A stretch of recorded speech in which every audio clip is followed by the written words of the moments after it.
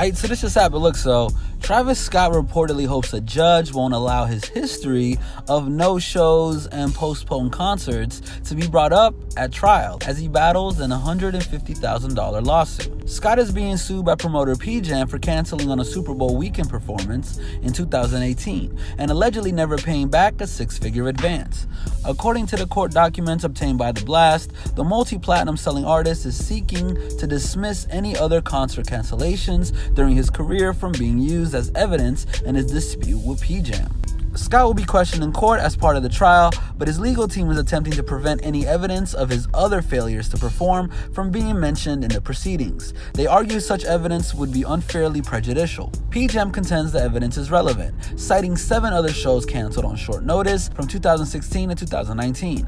The promoter claims they arranged for a private jet and spent thousands of dollars promoting the show. Scott was scheduled to perform for PJam at Myth Live in Minnesota on February 3, 2018.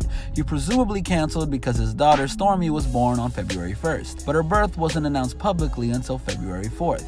PJam says Scott canceled at the last minute and caused reputable harm. The Astroworld creator has countersued and accused PJam of never confirming his travel plans. He also claims he didn't have enough money to cover his expenses. The case is set to head to trial later this year, and PJam is seeking $150,000 plus damages. So yeah, what do you guys think? Is Travis Scott gonna win in court, or will it be the other way around? Let us know your thoughts in the comment section section below, hit that subscribe button and notification bell to stay up to date on all of our new videos. And as always, make sure to keep it all the way locked hiphopdx.com.